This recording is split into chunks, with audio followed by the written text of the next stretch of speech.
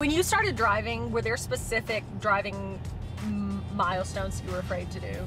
When I first got my driver's license, and before that, when I had my permit, it was learning to drive. Mm-hmm. There were a couple of things that I was terrified of doing. One was getting on the interstate, Merging was a. which, re- which, okay, the main thing I was scared of merging Yeah. and scared of driving. Now on the the way I got over that though was I figured it out, thanks to my athletic background, is to be aggressive when merging. Just go.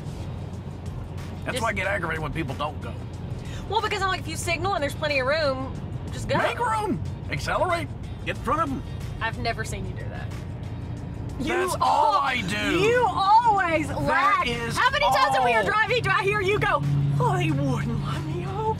No, you've never. No. You'll miss an exit No. because you're because No. you need a Because I'm on the other side. Shut up and be respectful and let the lady talk. Here's you on the interstate.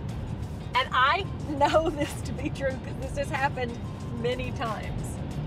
That one time in Nashville. yes. I Where you missed our side. exit three And there was a guy coming behind me. He was doing like 99 miles per hour. Can you imagine if it had been 100? 99. Yes, that's what he was doing. You him. wouldn't get over because you said the first time because this guy was coming too fast in the right lane. And I was like, well, slow down and get over after him. No, we're just going to have to miss it because it was like a loop in downtown Nashville. So we just went around again. He Wasn't misses the loop. exit again. Some guy. Some guy would not let me over. That's not merging. Yes, it is. No, I mean, you have to decelerate to get off an exit, accelerate on, decelerate off. It's simple. Which was the original thing before they did wax on, wax off. Diesel. I can't aggressively get off. I know, I meant slow down and then get over. If he's going 99 miles an hour, he'll surely no, pass no, you. no, he was hovering right there. And then he Were you also going 99? No, I was How trying. he be hovering? I'm Your telling you. story's not adding No, up. at first, yeah, I know. Counselor, mark Because- it down. No, now let me speak.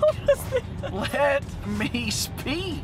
Here's the truth, everyone. I don't know what exit we're supposed to be on. She's the navigator, and she goes, "Oh, it's this one." Well, now I've got five seconds or less, and I don't have an opportunity to get over because I got this guy hovering and another guy flying by. I can't get over. Just writing you a ticket.